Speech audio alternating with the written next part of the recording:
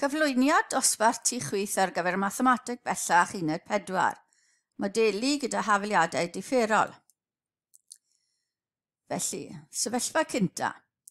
Ti dwyrnod wedi storm o law trwm, mae dŵr yn llifo i mewn i Lyn Bychan, o'r tirwedd o'i gwmpas a raddfa fi metr cwbd y dwyrnod, lle mae fi yn bodloni'r hafaliad differol DVDT yn haflu minus 0.5 fi a pam y tŷ yn 0, roedd fi yn 80. Datryswch yr hafaliad differol yma. Nawn ni hwnna gynta. Felly, dyma beth sydd gyda ni, gwahanu'r newidyn, felly mynd ar fi i fod yn un dros fi ar ochr chwith, di ti yn hafel minus 0.5. Integru'r ein gyda ti ar ochr chwith, mae'r ti yn canslo a mae gyda ni dif, uh, integriad gyda fi. Felly, uh, ln fi ar ochr chwyth, minus 0.5 t un cysonyn rhwng y ddau. Uh, felly fi yn hafol i e i'r pwer y ddau derm yna. Ni'n lli gwahanu'r na fel bod e pwer minus 0.5t dyn ni, lliosi e i'r pwer c, sydd dim ond cysonyn arall, felly galw fe'n A. Ar y dechrau mae t yn 0, fi yn 80. Felly 80 yn hafel i A er pwer 0, sef A, felly mae A yn 80. A mae'n hafaliad ni, uh, hafaliad differol ni ar gyfer A yn 80 E i'r pwer minus 0.5 T.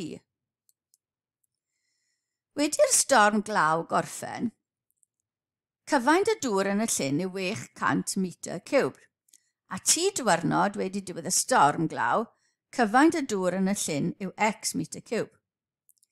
Mae nant fach yn llifo o'r llyn ac mae graddfa'r dŵr sy'n mynd mewn i'r nant o'r llyn yn 0.1x metr cwb y dwyrnod. Gan ddangos eich tybiaethau yn glir, darnyfyddwch a dytryswch hafaliad effurol sy'n rhaid i x fodloni. Felly dx i ti yw graddfa newid cyfaint y dŵr yn y llyn. Sy'n mynd i fo'n hafel i y mewn lifiad i'r llyn, minus y llif o dŵr sy'n mynd allan o'r llyn. Felly mewn i'r llyn, mae gyda ni o'r darn A, 80 E i'r pwer minus 0.5 ta. A allan o'r llyn, mae gyda ni uh, minus uh, 0.01x mas o'r llyn. Felly pan mae x yn, t, yn, pan mae t yn 0, mae x yn 600 metr cwbd. Beth i'n ni'n tybiaetho? Tybiaethu bod dim ragor o gofod y glaw, yr unig lif y ddŵr allan o'r llyn yw'r nant fach, a bod dim anweddiad na unrhyw golled arall o dŵr o'r llyn. Felly, uh, dod â'r x's i'r un ochr, felly dx i t plus 0.01x yn haflu 80 e i'r pwer minus 0.5t. Na mae hwn yn trefn um, hafaliad differol trefn 1 gyda defnyddio ffactor integri. A'r ffactor integri yw e i'r integriad p uh, gyda t. So P yw 0.01, felly integru hwnna a ni'n cael 0.01t. Lliosi pob dan gyda hwnna. Cyfuno'r ochr dde i un pwer. A chi wedi creu nawr ar yr ochr chwyth uh, differiad llioswm e, yr ffactor integri gyda x. Felly ar y chwyth mae gyda ni differiad y lluoswm yma. Felly, tegru'r ddau ochr mewn perthynas ag x a ni'n cael bod er pwer uh, 0.01 t lluosi x yn hafelu um, er pwer minus 0.49 t rhannu dy minus 0.49 yn rhoi'r cyfuniad neu ni fel y cyfernod plus cysonyn. Felly, uh, rhannu neu lliosi gyda e pwer minus 0.01 t a ni'n cael yr mynegiad yna. Ar y dechrau, pan mae t yn 0, oedd x yn 800. Felly mae 800 yn haflu minus 8,000 dros 49 plus gysonyn ta yn 1. Felly mae c yn dod yn 3740 dros 49. Felly ni'n gallu gosod hwnna mewn uh, yn yr hafaliad ar gyfer x. Wedyn ni, ar gyfer c, darganfyddwch cyfain maximum y dŵr yn y llyn a pryd mae hyn yn digwydd. Felly, cael y cyfain maximum mae angen differi. Felly, differi so, rannu gyda uh, yr e gyda um, minus 0.5, fel ni'n cael hanner yr 8,000. A yma ni'n rhannu, differi hwnna, ni'n rhannu dy differiad y pwer a ni'n cael minus 0.01 sy'n dod ar cyfernod i minus 374 dros 49. Ni moyn hwnna'n haflu 0 ar gyfer pwynt yr hosol, felly mae un yn gallu dod draw i'r ochr arall. Ni'n lle rhannu neu lliosig da e i'r pwer plus 0.5t a ni'n cael y cyfuniad yna a mae'r 49 yn cynslo. Uh, T wedyn ni, neu 0.49 T, yw 4,000 rannu dy 374 a elen hwnna i wneud gwrthwyneb yr e, a rhannu dy 49, a ni'n cael uh, 0.49, felly lliosi dy 100 dros 49, a ni'n gyta tua 4.83. A mae x sy'n cyfateb i hwnna, roi'r t na mewn yn y mynegiad cyntaf, yn tua 712.7. Gan mae hyn yw'r unig bwynt arhosol mewn ffwythiant didor, a gwyddwn pa mae t yn 0 bydd x yn 800, a pa mae t yn mynd yn fwy bydd x yn tueddi at 0, gallwn fod yn sicr mae pwynt maximum yw'r pwynt yma. Cyfain maximum y llyn yw tua 713 metr cywd, a mae hyn yn digwydd tua 4.836 diwrnod neu tua 116 awr wedi diwedd y storm. Graff i weld beth sy'n digwydd. So mae'r maximum yn y man yna a'n diweddu lawr fel bod y dŵr yn dod allan o'r llyn. Model arall. Mae angen modelu symudiad y boblogaeth i mewn ac allan o ddinas. Ar hyn o bryd, mae 400,000 o bobl yn byw yn y ddinas a 200,000 o bobl yn byw yn y maes trefi a suburbs. Bydd y model yn tybio bod cyfradd cyson o 5,000 pobl y blwyddyn yn symud i ganol y ddinas o tu allan i'r ddinas, ond oes neb yn symud o tu allan i'r ddinas i fewn i'r maes trefi. Mewn unrhyw flwyddyn bod un y cant o'r preswylwyr canol y ddinas yn gadael y ddinas yn gyfan gwbl, a 3% o'r preswylwyr canol y ddiad y ddinas yn symud i'r maes drefi. Mewn unrhyw flwyddyn bod 1% o breswylwyr y maes drefi yn gadael y ddinas yn gyfan gwbl a bod 1% o breswylwyr y maes drefi yn mynd i ganol y ddinas. Felly mae doi sefyllfa dyn ni fan hyn nawr, y canol y ddinas a mae'r maes drefi yn colli a derbyn poblogaeth. Body X dynod i nifer presol, preswylwyr canol y ddinas o fewn tu blwyddyn o amser ac y dyn nodi nifer preswylwyr y maes trefi o fewn tu blwyddyn o amser. Gan osod i fyny hafaliadau differol ar gyfer X ac Y, creuwch fodel ar gyfer tyfian poblogaeth canol y ddinas a maes trefi yn y dyfodol. Felly, canol y ddinas, y maes drefi a tu allan i'r ddinas yn gyfan gwbl. Felly, o'r tu allan, y 5,000 y flwyddyn yn dod mewn i ganol y ddinas. Mae un y cant yn dod o'r maes drefi i canol y ddinas. Mae un y cant yn mynd o'r canol y ddinas allan, tu allan yr ddinas yn gyfan gwbl, a mae 3 y cant yn mynd o canol y ddinas i'r maes trefi.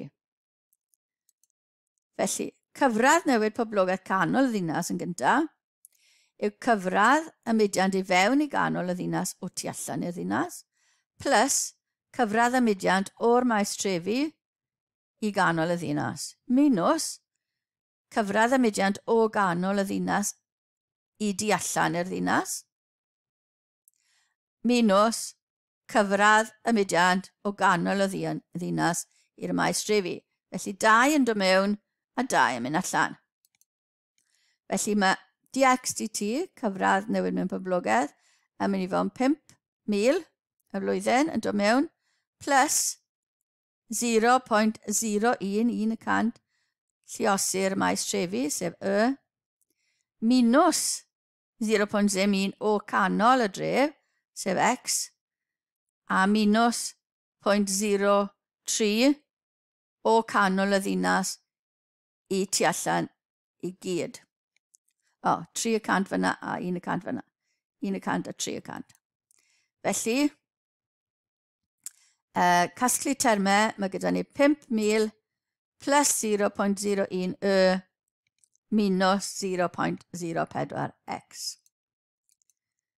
Felly, o'r maes trefi nesaf, mae 1% yn mynd o'r maes trefi i canol y ddinas, mae y cant yn mynd o canol y ddinas i tu all, o'r maes trefi i tu allan, mae 3% yn dod o canol y ddinas i'r maes trefi a dyna i gyd. Felly cyfradd newid, newid y moblogaeth y maes trefi yw cyfradd y mudiant o ganol y ddinas i'r maes trefi minus cyfradd y mudiant o'r maes trefi i ganol y ddinas, minus cyfradd y mudiant o'r maes trefi i di allan y ddinas. Felly, o x, mae 3 y cant yn mynd, 0.03. O'r maes trefi, sef y, mae 0.01 yn mynd, a mewn i ganol y ddinas, a mae 1 y cant yn mynd i tu allan, felly 0.01 y fyna hefyd. Felly, casglu termau, mae dy, dy, dy ti yn haflu 0.03x minus 0.02 y. Felly dyna ni y ddoi yr hafaliad ar gyfer x a'r un ar gyfer y.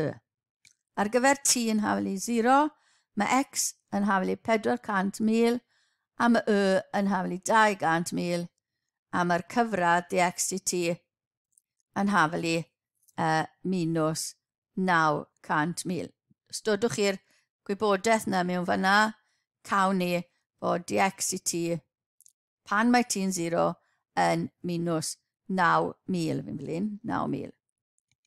Felly, differi 1 gyda T, felly d, 2x gyda dt sgwar, uh, hwnna'n mynd 0.01 diod i ti minus 0.04 dx i ti. Am newid 2 i fewn i 3, felly yr er diod i ti o fyna mewn yn lle'r diod i ti. Felly d 2x dt sgwar, 0.01, y bracet ar gyfer diod i ti, minus 0.04 dx dt casglu'r termau, felly d dx dt sgwar plus 0.04 dx dt minus y term yn x a yn mynd i fod yn hafel i minus uh, 0.0002 y. Nawr, cygwardio'r y, ni mae'n ail drefnu'r uh, un i gael y yn hafel i. Ail drefnu hwnna, a ni'n cael, um, ond ni angen 0.0002 y. Felly mae llosi gyda'r term priodol a ni'n cael y mynegiad yna. Am newid, i fan hyn, uh, a ni'n cael uh, minws y bracet yna ar gyfer yr cyfernod gyda y. Felly, casglu'r uh, DXDT, so mae hwnna'n mynd i fynd gyda'r DXDT arall i roi 0.06 DXDT. Casglu'r ddau X at ei gilydd a mae plus 0.0005 T gyda ni, um, X gyda ni wedyn, yn hafel i gant. Felly, ni'n mynd i ddatrys hwnna nawr. Felly, yr ffwythiant cyflenwol yw um, ni angen yr ochr chwyth yn hafel i 0, yr hafaliad ategol, so m sgwar plus 0.06m plus 0.0005 yn haflu 0 yn rhoi ni uh, ffactorio neu defnyddio fformula neu'ch cyfrifiannau a chi'n cael y m yn 0.01 neu 0.05. Felly'r er hafaliad cyffredinol ar gyfer y ffwythio'n cyflenwol yw x yn haflu a e i'r m cynta plus b e i'r ail m. Yr integrin penodol, chi'n edrych ar ochr dde, cysonyn sydd gyda ni, felly cynnig x yn haflu c, differiad x ail differiad x yn i fod yn 0. Am newid i fewn i'r uh, hafaliad gwreiddiol, felly uh, 0 plus 0 plus 0.0005 c a mae hwnna i fod yn hafel i cant, felly mae C yn mynd i fod yn 200,000. Felly ni'n tegrin penodol ni yw 200,000. Yn datrysiad cyffredinol ni yw swm yr integrin penodol a'r ffwythion cyflenwol a ni'n cael yr hafaliad yna ar gyfer X. Hefyd, ni angen DXT ar gyfer dod i mewn yr uh, amodau uh, dechreuol a ni'n differi, felly mae hwnna'n diflannu lliosi gyda minus uh, differiad y pŵer, so minus 0.01 uh, a yr un peth yma, felly minus 0.05 ar gyfer y B e, i'r pwer yna. Felly, yr un cynta, os yw t yn 0, mae x yn 400,000. Mae yna hwnna draw, felly mae a e i'r pwer 0 yn mynd i fod 0 yn mynd i fod 1, felly a plus b yn mynd i fod wedyn yn 200,000. Wedi mynd o hwnna draw. Ar gyfer hwn, minus 900, minus 9,000 yn haflu 0.01 minus 0.01 a minus 0.0 b, 0.5 b, llosi dy cant lleosid y minus 100 yn ni'n cael a plus 5 yn hafelu 900,000 wedyn. Felly mae dau hafaliad cydamserol a mae'n dod mas hwnna bod a yn 25,000 a b yn 175,000.